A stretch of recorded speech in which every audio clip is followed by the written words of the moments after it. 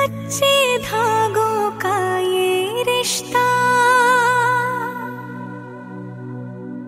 बन जाता है बचपन से।